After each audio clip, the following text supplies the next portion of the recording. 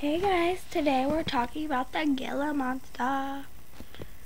These lizards are called monsters for a good reason. They have venomous bites. Gila monsters mostly use their venom to defend themselves from others. I think Gila monsters are just sweet. So I don't know what those guys are talking about, except for these nails. If I had a Gila monster as a pet, I would definitely paint their nails. I mean, wouldn't you? Gila monsters move slowly, so they pose very little risk to humans. However, this killer facts is a lot different stuff. Some people keep Gila monsters as pets, which is a bad idea because eight people have died from Gila bites. Too bad for those people.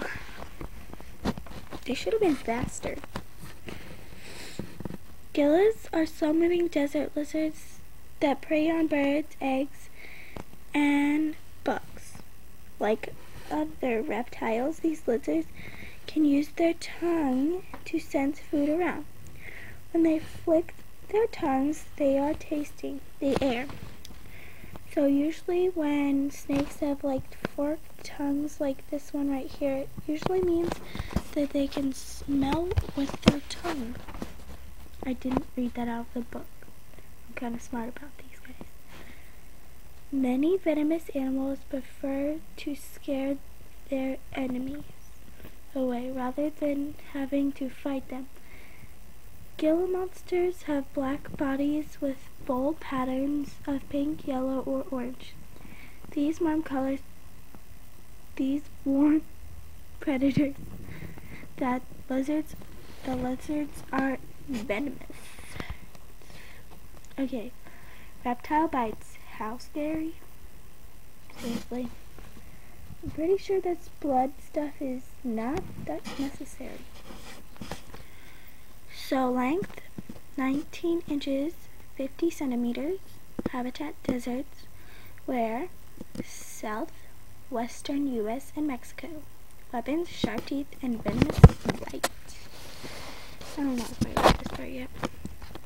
Mexican beaded lizards are also venomous bite. It has large claws to dig burrows where it hides.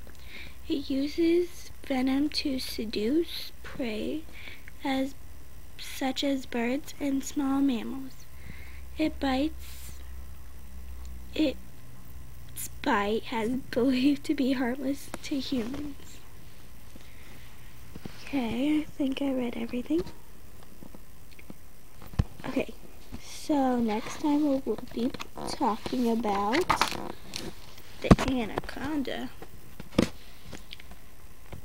So, yeah, he's cute. I love snakes. They're awesome. So, bye guys.